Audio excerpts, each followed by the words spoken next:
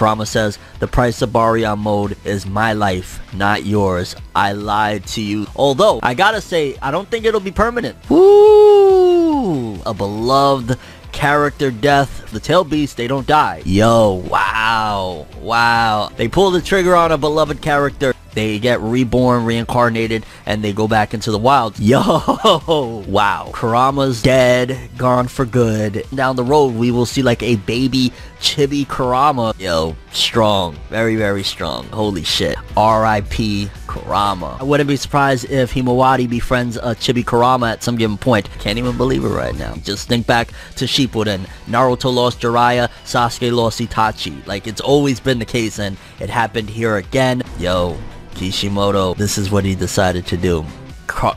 I, I can't even speak right now.